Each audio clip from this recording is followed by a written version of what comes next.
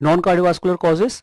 Uh, the number one is with the uh, basic concept of uh, uh this uh, cause as thyroid hormone.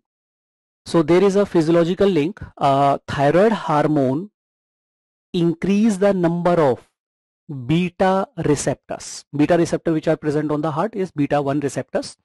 So thyroid hormone increase the number and as well as increase the function of beta receptor on the heart.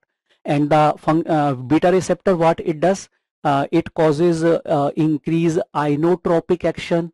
Inotropic means contractility. And increase chronotropic action. Chronotropic means rate.